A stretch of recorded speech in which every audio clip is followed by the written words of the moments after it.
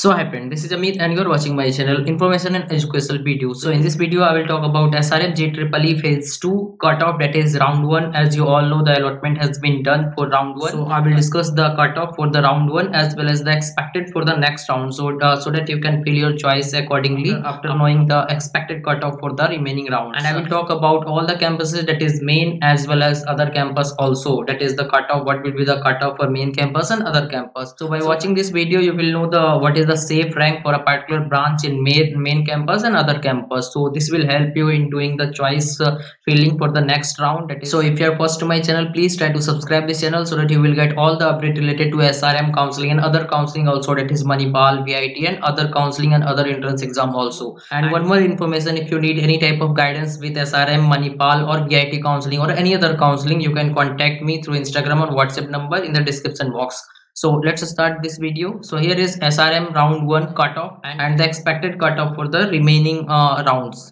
So here is the cse main campus. The cutoff was under 1000 for the round one and uh, for other branches it is uh, it is around 4000 and for CSCS specialization it was under 2000 for main campus. And for uh, and for other campus it is around 10000 uh, you see the main, main campus cutoff is under 4000 and the other campus it goes around 14000 rank. So i am uh, i have got this information through many students who have done the round one counseling. So according to that i am making this video. Can use this data to pro to provide the choices for the next round so the next is IT under 3000 in the main campus uh, the IT branch was closed and for other campuses it was 8000 around.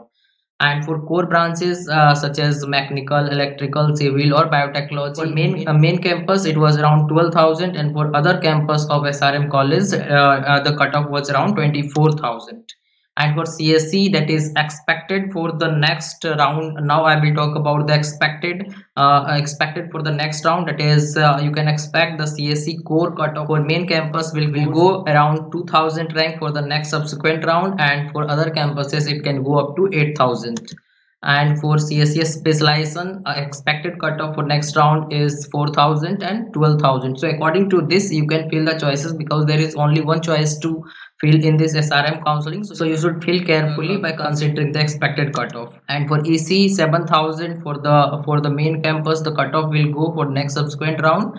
And for other campus it will be around 18000 and for IT for main campus it will be around 4.5 thousand. And for other campuses it will around 13,000 and for core branches uh, for main campus uh, the cutoff will go till 15000 that is mechanical electrical civil or biotechnology. And for other campus it is around 30000 so, so these are the expected cutoff for the next round of srm counseling. That is phase 2 as you all know the phase 1 is already uh, already happened. So the and the round 1 allotment of phase 2 has been done. So so now you can you can fill the choices according to this for the uh, for the next round. So thanks for watching this video. Please try to subscribe this channel. And and if you have any type of doubt with your counseling of manipal vit or srm or any other counseling you can contact me. So thanks for watching this video. Please try to subscribe this channel so that you will get all the update related to this counseling and other counseling and other entrance exam also. Thanks